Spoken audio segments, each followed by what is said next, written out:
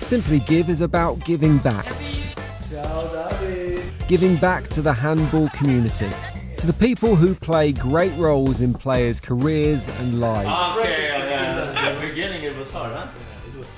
To those who often stand behind the medals, trophies, behind the success.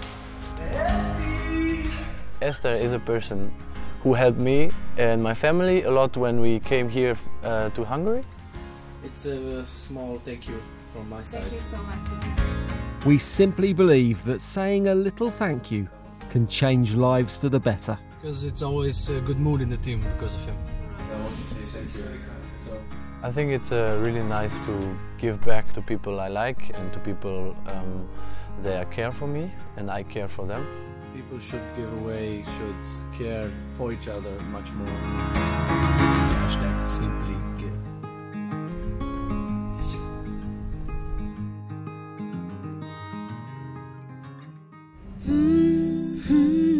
Korenie.